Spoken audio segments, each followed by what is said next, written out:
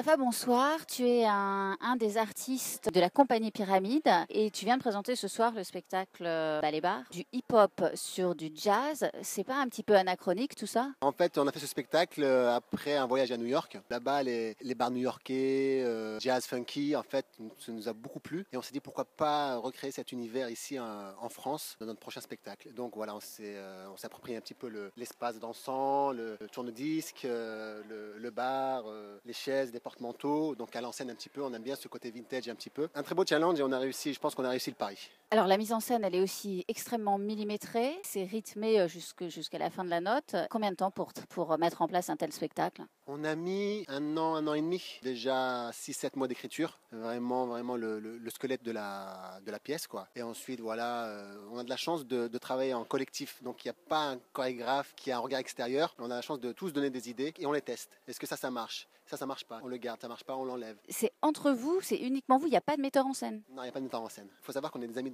On a grandi ensemble. On est comme une famille et on a cette. Euh... Nous, enfin, on pense que c'est une force en fait, vraiment de, de travailler comme ça.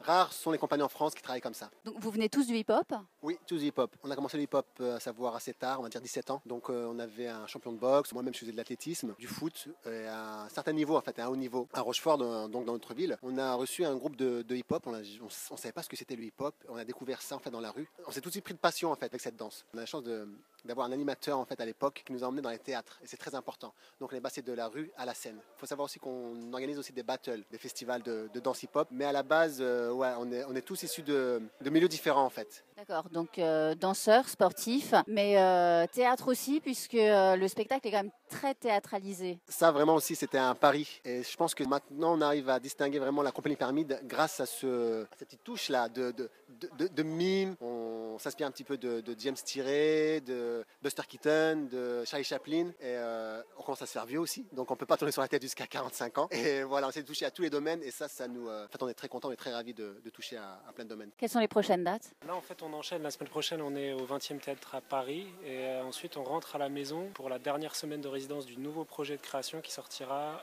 euh, début avril, scène nationale d'Angoulême. Bah, merci beaucoup, Mustapha. Merci à vous.